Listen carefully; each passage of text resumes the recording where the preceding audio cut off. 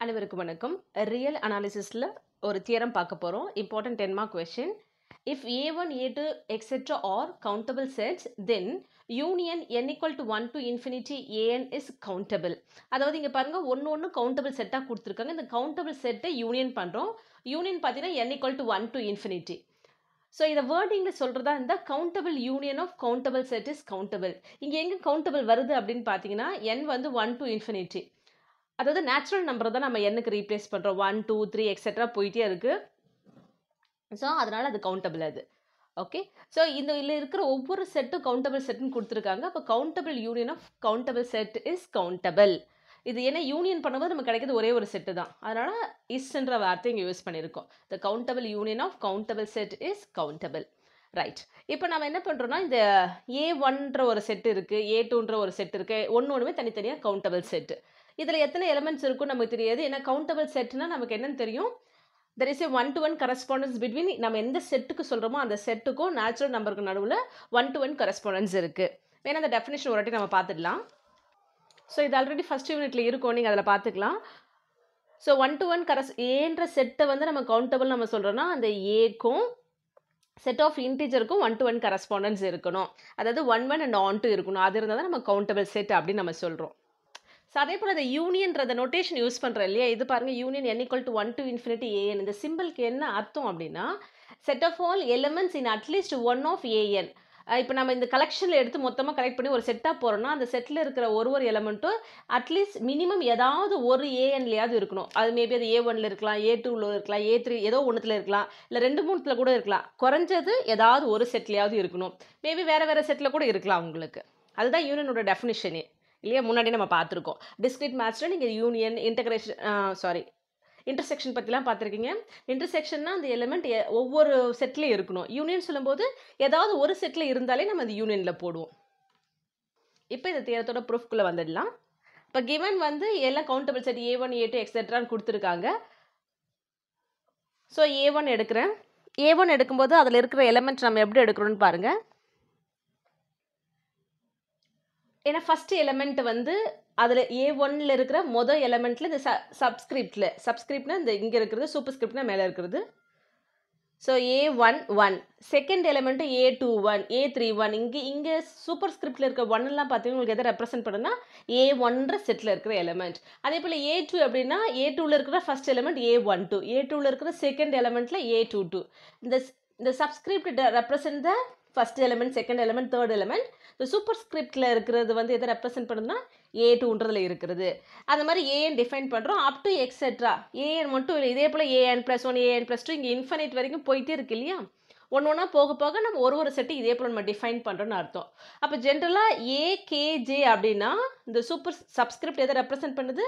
எத்தனாவது element represent பண்ணுது? அப்போ கேத் எலமெண்ட் இந்த ஜே எதை ரெப்ரசென்ட் பண்ணுதுன்னா ஏஜேன்ற செட்டில் இருக்குது அப்போ kth element of the set A j okay இப்போ நம்ம என்ன பண்ண போகிறோம்னா இந்த ஹைட்டை வச்சு நம்ம இந்த எலமெண்ட்ஸ்லாம் நம்ம கேதர் பண்ண போகிறோம் குரூப் பண்ண போகிறோம் இப்போ இங்கே ஹைட்டை நம்ம எப்படி டிஃபைன் பண்ணுறோன்னா ஏ கேஜி அப்படின்னா கேவியும் ஜேயும் ஆட் பண்ணுறது ஜேகே இல்லை கேஜி இதை ஆட் பண்ணுறதா நம்ம ஹைட்டு நம்ம டிஃபைன் பண்ணுறோம் அப்போ இங்கே ஏ ஒன் ஒன்னா இந்த ஒன்னையும் ஒன்னையும் ஆட் பண்ணால் டூ வரும்.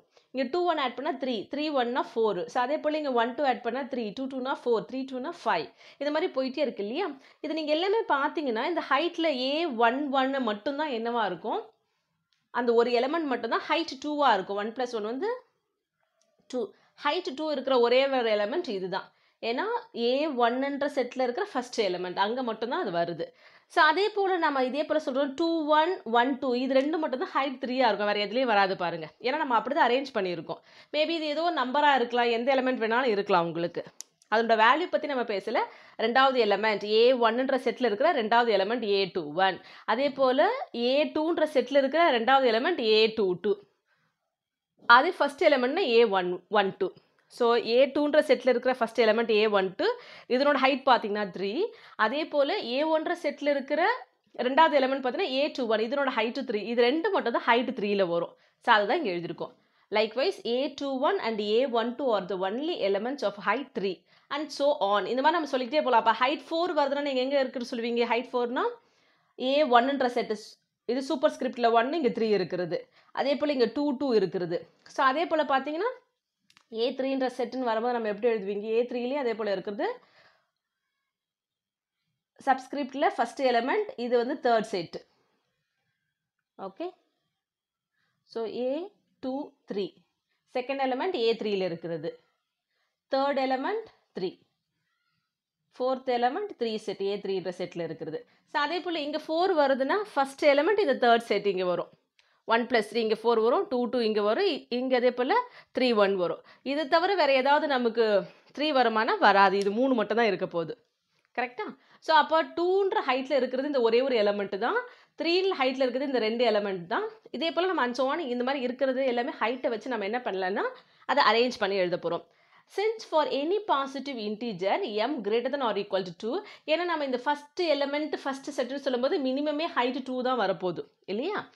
அதனால m greater than or equal to 2 2 there are only m minus one elements of height m ஏன்னா இங்கே ஹைட் டூவில் வந்து ஒரே ஒரு எலமெண்ட் தான் இருக்குது ஹைட் த்ரீயில் த்ரீ எலமெண்ட் டூ எலமெண்ட்ஸ் தான் இருக்குது ஹைட் ஃபோர்னா ஃபோர் நம்ம அந்த மூணு வகையில் தான் எழுத முடியும். ஆட் பண்ணி வேறு எப்படி எழுத முடியாது. இந்த நம்பர்ஸ் வச்சு. Integers positive integer natural number use பண்ணி. ஸோ அப்போ எத்தனை எலமெண்ட் இருக்கும் அப்படின்னா m minus one elements of height m இருக்கும். இப்போ நம்ம என்ன பண்ணுறோம் arrange the elements of union n equal to one to infinity A n according to their height இப்போ யூனியன் என்ன அர்த்தம்? இதில் இருக்கிறது எல்லாத்தையும் நம்ம கிளப் பண்ணி எல்லாத்தையும் ஒன்றா சேர்த்து எழுதுவோம். ஏதாவது ரிப்பீட்டட் எலமெண்ட் இருந்தால் ஒரு வாட்டி தான் எழுதுவோம் நாம. சப்போஸ் இப்போ ஏ ஒன் ஒன்னுன்ற எலமெண்ட் வந்து சப்போஸ் இதனோட இதனோ இதுக்கு வந்து ரெண்டுன்ற ஒரு ஆன்சர் இருக்குன்னு வச்சுக்கோங்களேன். அதே போல் இங்கே ஏ த்ரீ த்ரீ ரெண்டு இருக்குன்னா இது ரெண்டுத்துக்கு வேலை ஏதாவது ஒன்று தான் நம்ம எழுதுவோம்.